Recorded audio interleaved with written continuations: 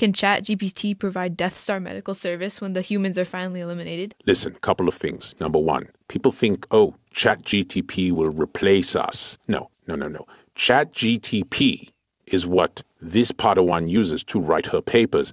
ChatGTP makes us all look good. I just use it to do everything.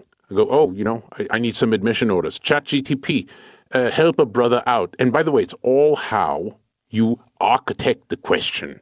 I just say Chat GPT. I need a dope ass admission H&P for somebody who's old, found down in stool, and I don't know what's up. And it's like working, and it just there it is.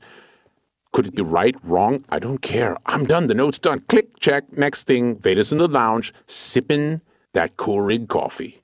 All right. All right. You think I'm gonna? You think I won't get away with this? Come on, people. Ooh. dark side for life.